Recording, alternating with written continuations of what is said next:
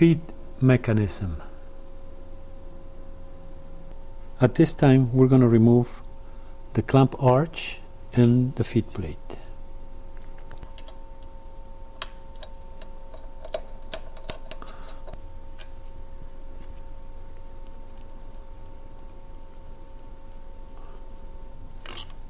After removing the feed plate and sliding the arch out of the way, please be careful because this part is going to fall right off and there's three ball bearings on top of the arch.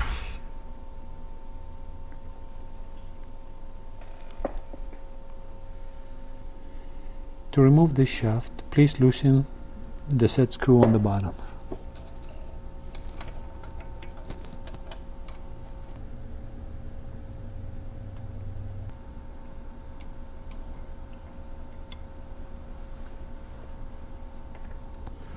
Next, please remove the eight screws holding the base in order to remove it.